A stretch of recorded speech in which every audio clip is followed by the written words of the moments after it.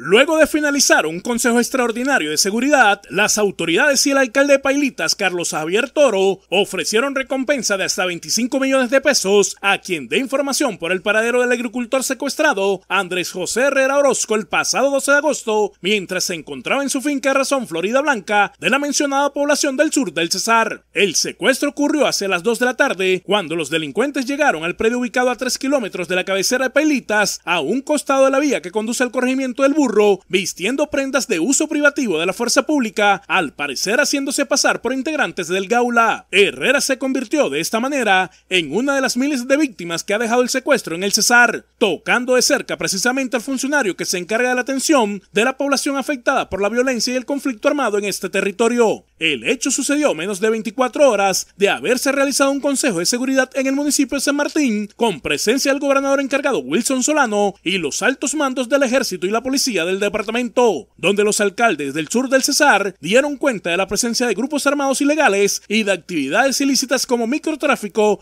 amenazas, robos y panfletos. Es de anotar que alcaldes del sur del Cesar habrían denunciado presencia de grupos ilegales en la zona. Hemos culminado el Consejo Extraordinario de Seguridad y Comité de Orden Público Departamental. Dentro de la reunión se concluyó, gracias al apoyo del gobierno departamental y de la fuerza pública, la oferta de una recompensa de hasta 25 millones de pesos para quien dé información sobre el paradero